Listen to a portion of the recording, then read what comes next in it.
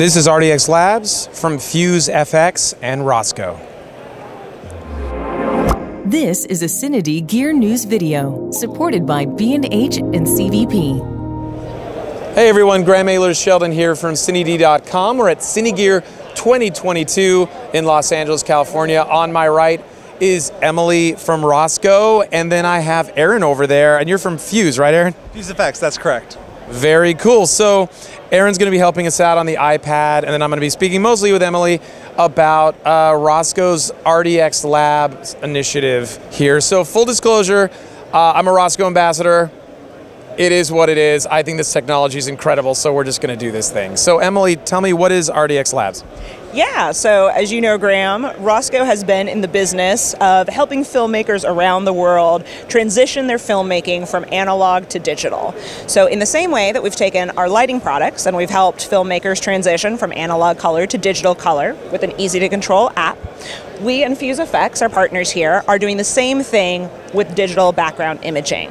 So, as you may know, we have an Academy Award for the creation of our day night image backing. So, for 35 plus years, we've developed a huge catalog and we often do custom prints that include still and motion plates that folks can use for background images. Now, of course, the next evolution of that is virtual production on LED walls that you see behind me.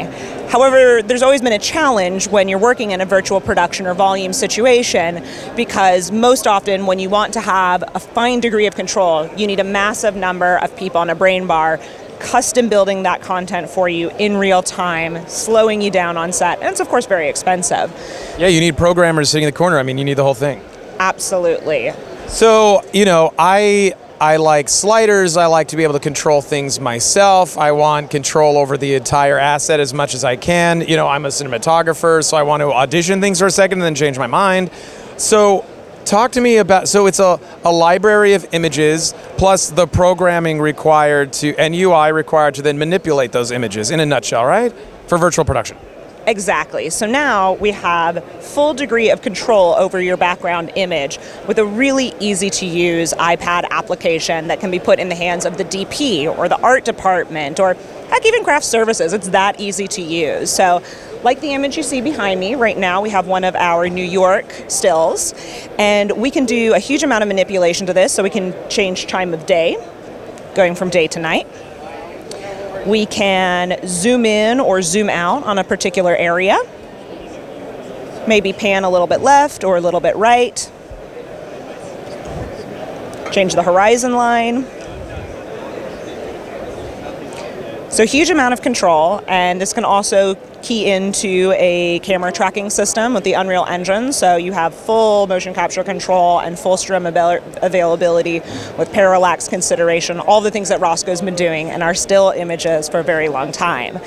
And then, of course, it's not enough now to have still images, you want to have motion and animation effects.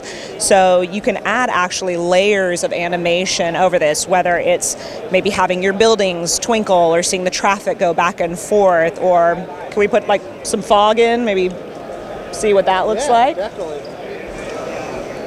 So here Aaron's going to just go to another pane on the iPad app, again, something that's really easy, and he's going to add some fog in and maybe that's gonna roll in over the river. This is very cool, you guys. You know, and I have to say, for virtual production, I don't think I would shoot a movie with us like a foot from the LED volume. But I, for purposes of demo, this is amazing. And you got to imagine, like, maybe we're in a vehicle and this is out the window, or it's out the window of a high rise. In this case, in New York City, would make a ton of sense. I mean, to me, this is kind of a natural, yeah, evolution of your backdrops. Absolutely, absolutely. So it's taking it into that next generation. It's putting the control back into the hands of the DP, the art department, democratizing it for everybody, and giving your talent something to act against. Okay, so nuts and bolts execution of this. I have a, a virtual studio. Um, I have my LED volumes are all kind of set, ready to go. How do I make this system work with the stage that I'm already on or preparing to shoot on? So that's what's great is so this system can be dropped into any existing or new coming LED video wall and camera system on any stage. Doesn't matter the size, doesn't matter the type of LED video wall. You can provide those hardware components or our partners at Fuse FX can help provide them for you. But we can come into just about any situation and get the entire system set up to go within 48 hours.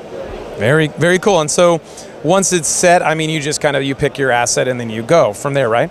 Absolutely. Just the way folks license the images from us when we're doing a static still background on fabric.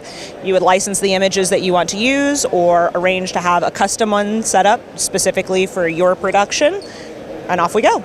So, I mean, you've kind of set this up to be very uh, turnkey, Emily, but let's say that I do you want to customize it a little more in the sense that can I ever provide an asset and use your UI? Do you guys are you guys able to you know prep that asset in the way you would your normal licensed images? Yes, absolutely. So there are situations where we do have DPs who want to shoot their own backing images. We can absolutely work with DPs to provide them with the right instructions for the level of um, image clarity that we need to provide that. Now you said we could get this set in, you know, like 48 hours. Is there a, a general range of costs associated with that, just so I understand for people out there? Yeah, so we're still working that out with the licensing images and whether it's time based or, or what all's included in that. So we don't yet have pricing on that, but do stay tuned. We are working towards that. Cool. And uh, I mean, is this essentially rolling out now? When can we expect that this is, uh, you know, everywhere? Yeah, absolutely. So we're still working on a few bits of infrastructure, costs included. And so we're planning to have this deployed by early fall. This should be available, and we do have a couple of productions that we're talking about working a little bit sooner than that. Very cool. Well, Emily, thank you so much. Aaron, thank you so much. Everybody, that was a quick peek at RDX Labs. Thank you so much for watching our coverage of CineGear 2022.